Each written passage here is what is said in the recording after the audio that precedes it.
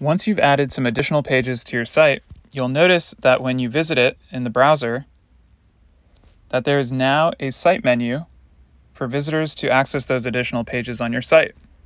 Universe provides you with a handful of different options and controls that let you completely customize the look and feel of this site menu. You can access them by selecting the Settings tab on your site dashboard and then selecting the Customize Menu Style option. From here, you'll have a bunch of different options to start customizing your site menu. You can choose from a different style, so we can go full screen, sidebar tabs. I'm just going to go full screen for this example. You can then control the menu color, so this is the actual background color of the menu itself. We're going to go ahead and make it a fun purple color. We're going to go purple.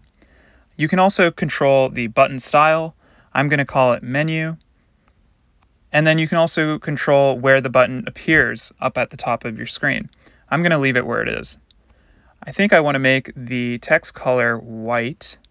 And then I can also control the actual font, the capitalization.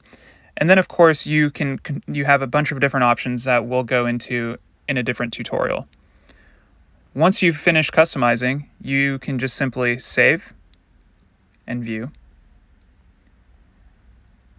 And you'll notice that there's now a menu text instead of an icon. And when I tap on this menu, it takes over the whole page. This is just one of many, many, many combinations where you can customize your site menu style, and you can always go back and change it. You're never stuck with any one option. It's that easy.